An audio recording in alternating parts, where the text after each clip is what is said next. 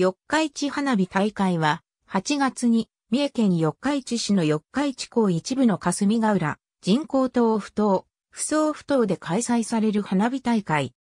すべての花火が会場からの打ち上げとなり、打ち上げ場所が会場に近いため、迫力のある花火を観覧することができる。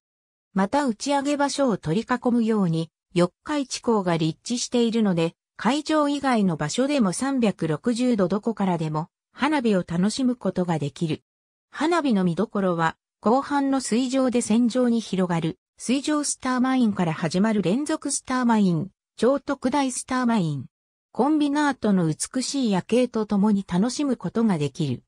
市民がスポンサーとなり、誕生日祝い、結婚記念祝い、還暦祝いなど様々なメッセージや思いが込められるメモリアル花火も親しまれている。メモリアル花火は一口3万円となっている。当日は花火大会の前に浴衣コンテストや諏訪太鼓演奏などもあり、早めに観覧席付近に行くと花火の他にも楽しむことができる。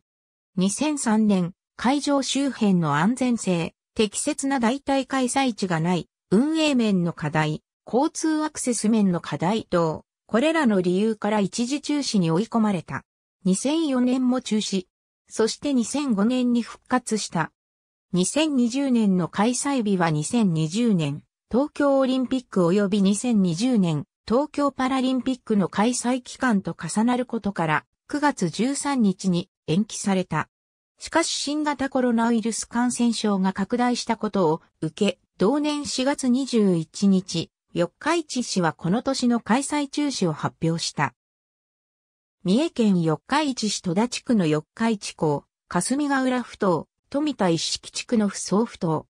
花火打ち上げ場所が県内で最も高いビルである四日市港、ポートビルと近接しているため、屋上展望室、海テラス14からは迫力ある花火を見ることができる。なお、花火大会当日は抽選による当選者のみが入場可能。近隣を航行する遊覧船からの観覧も可能である。FM ポートウェーブによるラジオ中継も実施している。ありがとうございます。